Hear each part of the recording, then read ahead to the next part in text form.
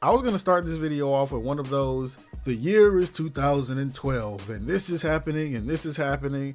But I'm a little tired of those, honestly, because I feel like it's being run into the ground. So if you want to know what 2012 was like, just go look at Gangnam Style or Call Me Maybe. But on a more relative note, in 2012, our friends over at 2K Sports were plotting to basically get the NBA 2K series as big as it's now become. And they had some big ideas for the follow up to 2K12, including all new customization options for my players, the first 3v3 multiplayer, and my team, of course. But even on top of all of those game modes, we were getting some other little features to be excited about in this game, like the return of the Dream Team and the 2012 Olympic team. And of course, Jay Z was going to be producing the soundtrack. And I could never forget to mention the most dominant squad of out of place hoopers we've seen since the Monstars or that kid from Thunderstruck who stole Kevin Durant's talent. Of course, I'm talking about the 2K13 Celebrity All Star Team. Now, 2K is no stranger to using celebrities as playable characters, but in this game is the first time that we got to actually take celebrities and put them in a real NBA setting and play 5v5 with them. And I gotta say, the roster of this team is the most random, most perfect thing ever because they didn't really take the celebrity all-star team from real life that year they could have just took that team and gotten the rights to use all of those guys and just put that team in the game. But that's not what they did. Instead, they took what seems like a few random pop culture figures who were really popular at the time and a few others who were just kinda there. Starting out the roster for the celebrity team, we have my two favorite players on the team, of course, Calvin Cambridge from Like Mike, because we all know Bow Wow ain't no 92 overall, and of course, the GOAT, the late, great Mac Miller, 93 overall for Mac Miller, 92 overall for Bow Wow. And following them, we got Mr. Grenade Whistle himself, Pauly D of the Jersey Shore at a 93 overall. And I just know that Bow Wow had to be vexed, bro. Bow Wow spent the entirety of the 2000s trying to get the public to recognize his game. Like, think about it. He did Like Mike, all, all of the basketball music videos, just just all of the ba- he played. He even played Kobe.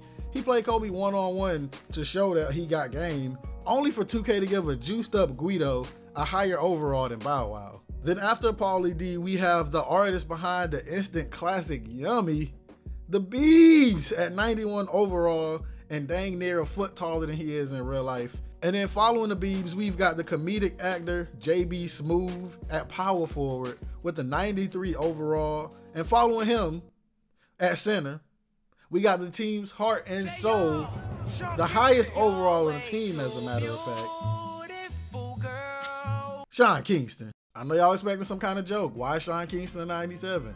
Why is Sean Kingston the best player on the celebrity team? I, I got nothing. I got nothing. Got no jokes, got no explanations. We just gonna move along. And so the rest of the team is made up of Vinny from Jersey Shore. And after that, we have Wale, of course. But for some reason, 2K stuck him with a 79 overall. You know, it makes sense, bro. That makes sense. But after that, they have Jesse Williams, who I won't lie, bro. All of those, all of the years after the, when that game came out and everything, I didn't know who this dude was until a few years ago. So, so just just let me get this out for myself, right? Let me just get this out for my 16 year old self. 2K. Y'all really gave the nigga from Grey's Anatomy, also Detroit Becoming Human, a spot on the 2013 team when J. Cole was in the All Star game catching oops. All-Star game catching oops, nigga. And then following Mr. Grey's Anatomy, we got Meek Millie at a 71 overall, which I think is crazy. They had his song in the game. They probably told him like, "Yo, we gon' we gonna use your song in the game." They probably got a little bag for it. It's like, "Yeah, we want to use your likeness too to make you a playable character in the game." Meek Mill was probably ecstatic, bro. He was like, "Think about it. You're gonna be in 2K. You're an up and coming artist at the time, and you're gonna be in 2K, a game that you probably play all the time. And then the game come out, and your overall is a 71, and they gave Bow Wow a 91. Come on, bro. And then lastly on the team, but definitely not least, we have Kevin from The Office, and Kevin is hilarious. At an 88 overall, we have I don't know how to say his real name, and I'm not about to butcher it. So yeah, Kevin from The Office had an 88 overall. He a big body bucket getter. I'm not gonna lie to you. But this team is definitely weird, and I can't help but think that 2K had like initially they had something else in the works, but maybe something happened because Jesse Williams, JB Smoove, and Vinny they all played in the celebrity game that year, the, the year this game came out, and they were on the roster. But guys like Kevin Hart and J. Cole are nowhere to be found.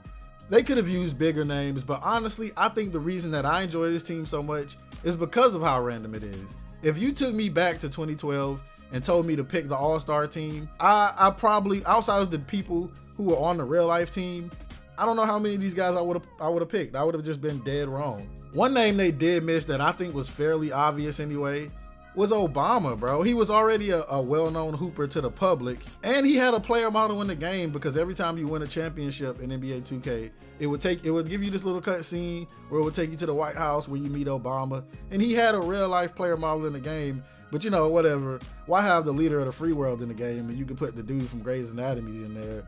That crossover makes sense. It really does. Think about it, bro. I don't think I don't think I know one dude who is a 2K fan as well as an avid watcher of Grey's Anatomy. I don't, it doesn't exist. But regardless of whatever jokes I cracked, this team was a legit super team and it could go head to head with any of those, the All Star team, uh, the, the Dream Team, 2012 Olympic team.